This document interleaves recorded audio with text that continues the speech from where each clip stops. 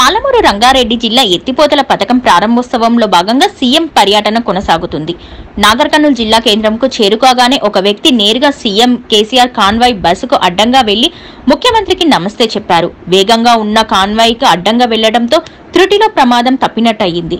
పోలీసులు అదుపులోకి తీసుకోగా కేసీఆర్ జిందాబాద్ అంటూ సదరు వ్యక్తి నినాదాలు చేశారు.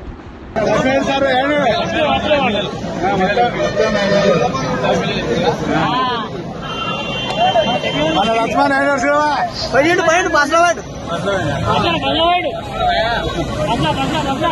DCM chairman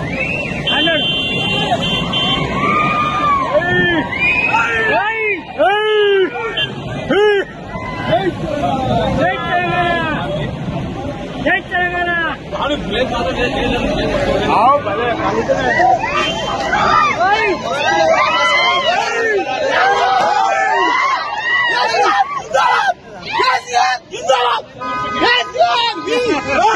Yes, Yes, Yes,